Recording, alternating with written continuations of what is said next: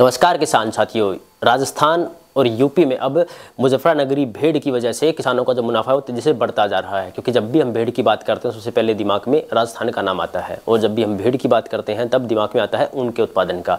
लेकिन अब भेड़ को किसान साथी ऊन के लिए उत्पादन के लिए नहीं पाल रहे हैं, क्योंकि पहले से जो हकीकत है वो बदल चुकी है। अब घरेलू बाज़ारों में भेड़ से मिलने वाले जो ऊन है, उसकी कीमत घट चुकी है और कई भेड़ की नस्लें ऐसी हैं जिनकी ऊन अब फेंकनी पड़ती है, उसका मार्केट में अच्छा रेट नहीं मिलता।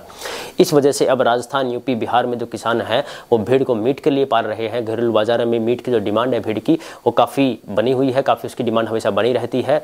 और यूपी की अगर हम बात करते हैं तो यहाँ पे जो मुजफ्फरा नगरी भेड़ है, उसका मीट लोगों को काफ़ी पसंद आता है, जिस वजह से यूपी में इस भेड़ की जो डिमांड है, वो बढ़ती जा रही है और किसान इसे पाल करके अच्छा मुनाफा कमा रहे हैं।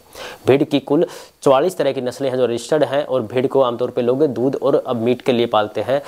कुल मीट का जो प्रोडक्शन है हमारे देश में, उसमें अकेला भेड़ से 10 परसेंट के आसपास आता है। किसान साथी, अब मुजफ्फरनगरी भेड़ को पाल करके अच्छा मुनाफा कमा रहे हैं। तो किसान साथी, अगर आपको भेड़ पालन के बारे में जानकारी प्राप्त करनी है, फिर आपको आधुनिक खेती की जानकारी प्राप्त करनी है, उसके लिए आप एफ़ मोबाइल ऐप को डाउनलोड कीजिएगा। इस प्लेटफॉर्म पर उपलब्ध है।